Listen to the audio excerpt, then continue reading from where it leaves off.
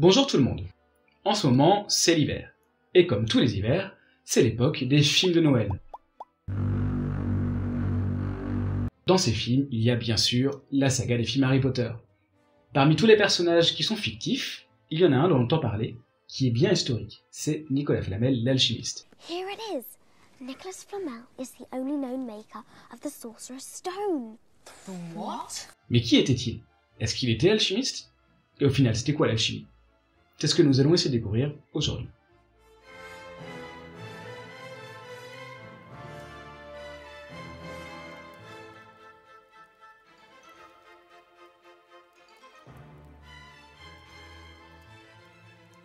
Eh bien oui, Nicolas Flamel, c'est un personnage qui a bel et bien existé. On a encore des traces de son passage d'ailleurs. On a son testament ou sa pierre tombale. Mais qui était-il? Et à quoi pouvait bien ressembler sa vie? Alors déjà, Nicolas Flamel ne va pas évoluer dans la période la plus chouette du Moyen Âge.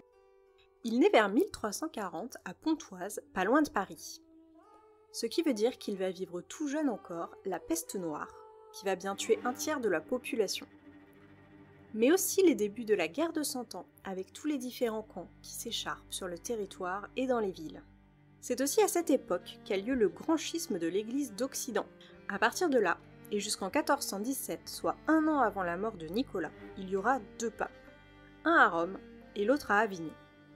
Pour Nicolas Flamel et sa femme Pernelle, qui était plutôt du genre très pieux, la séparation de l'Église n'a pas dû être facile à vivre. Voilà pour le contexte bien sympa de la fin du Moyen Âge. Malgré ça, Nicolas a l'air de plutôt bien s'en sortir. Vers 1370, à à peu près 30 ans, il épouse Pernelle, qui était déjà deux fois veuve, pas forcément étonnant vu la période. À son mariage, elle lui apportera sûrement une certaine dot. Il restera marié avec elle jusqu'à sa mort, 27 ans plus tard. Nicolas devient libraire. C'est un copiste et un écrivain public. Il s'établit à Paris, dans le quartier des écrivains. Flamel était d'ailleurs dans une rue qui s'appelait peut-être déjà la rue des écrivains. Depuis le XIIIe siècle, avec l'évolution de la littérature profane et la bourgeoisie qui a envie de lire, ce ne sont donc plus uniquement les moines qui copient les livres. Les métiers de copiste et d'écrivain public se développent alors. Il faut rappeler qu'à l'époque, peu de monde sait lire ou écrire. Un écrivain public, c'est quelqu'un qui va rédiger des actes juridiques, des lettres, des contrats, pour une population qui ne peut pas écrire. C'est donc quelqu'un de très intégré et que l'on côtoie beaucoup. Tout semble aller très bien pour les époux, aussi bien du point de vue personnel que financier. L'atelier de Nicolas marche suffisamment bien pour qu'il achète des maisons et qu'il ait sûrement des collègues ou des apprentis. On remarque que les époux tiennent à assurer la situation financière de l'autre après leur mort. Mais aussi que leur situation financière devient de plus en plus aisée d'année en année, et ce jusqu'à la mort de Pernelle en 1397. Après cela, Nicolas va continuer d'évoluer dans sa carrière jusqu'à être nommé en 1414 libraire juré. C'est-à-dire qu'il dépend désormais de l'université et a le statut de clerc. C'est donc un bourgeois bien installé. Nicolas meurt finalement à Paris en 1418, à près de 80 ans.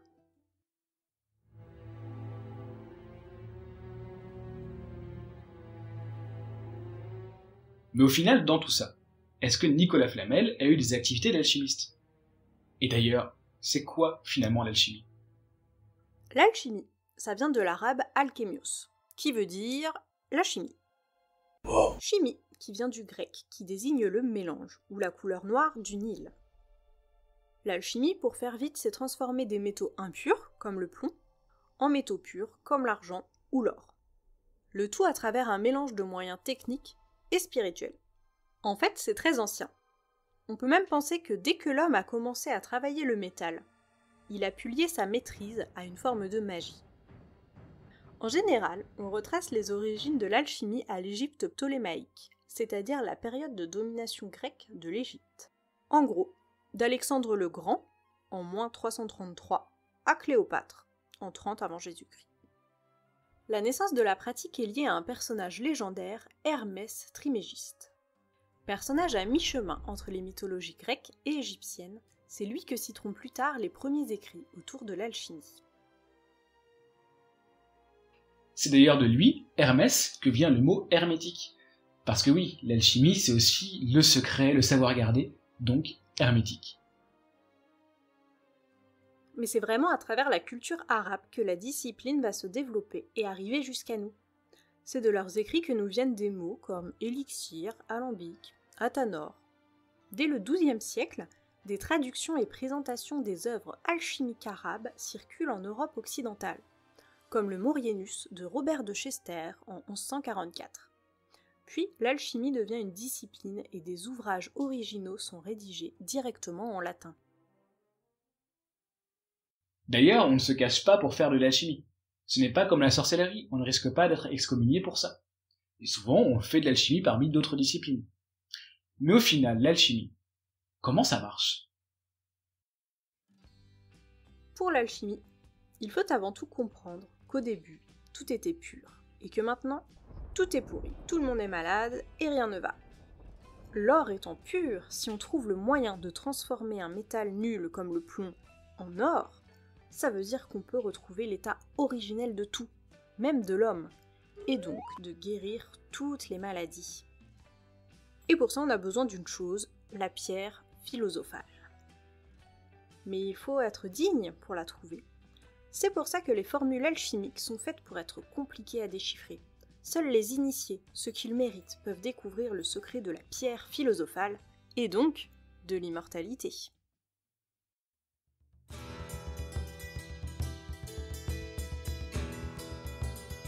Donc l'alchimie permettrait de créer de l'or en masse. On comprend donc qu'un personnage devenu vite très riche puisse éveiller des soupçons. Par contre, Nicolas Flamel ne semble pas avoir été plus riche qu'un autre grand bourgeois de son temps.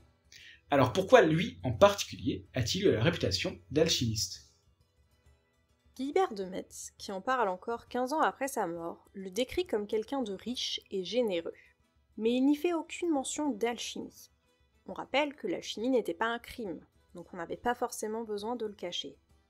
Nicolas Flamel était effectivement riche, il a acheté de nombreuses maisons, certaines notamment pour héberger des pauvres dans une époque très difficile. Mais il n'était pas le seul, même parmi les écrivains, à s'acheter des maisons. Jean Arrangier, un autre écrivain, en avait acheté une juste en face de celle de Flamel. D'ailleurs, en tant que copiste réputé, Nicolas était probablement en contact avec des clients très riches, comme le duc du Berry, qui ont pu le rémunérer très généreusement. En fait, les mentions de son alchimie arrivent petit à petit. À l'époque du XVe siècle, certains auteurs commencent à faire des allusions à un livre alchimique écrit par Flamel et à des secrets qu'il aurait découverts. Mais c'est la parution en 1612 d'un livre, le livre des figures hiéroglyphiques, qui va définitivement faire entrer le personnage dans l'alchimie. Ce livre serait la traduction en français d'un manuscrit en latin qu'aurait écrit Nicolas Flamel publié par un certain Pierre Arnaud de la Chevalerie. C'est un peu un livre d'aventure qui présente Nicolas en grand alchimiste, qui aurait découvert un livre mystérieux, aurait voyagé à Saint-Jacques de Compostelle et rencontré un vieux moine savant qui lui aurait révélé les secrets du livre. Et Nicolas aurait mis ces secrets dans les images des arcades du cimetière des Innocents qu'il avait fait décorer. En fait, c'est un peu un Da Vinci Code du XVIIe siècle un siècle où on s'intéresse beaucoup à l'alchimie.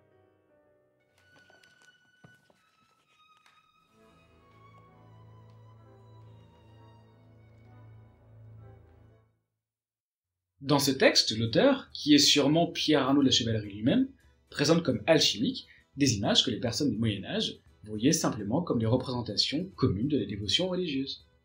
Par exemple, il interprète le dragon comme le symbole du soufre en alchimie, mais c'est aussi, et surtout, une représentation très classique du mal, que l'on retrouve dans un tas de représentations médiévales.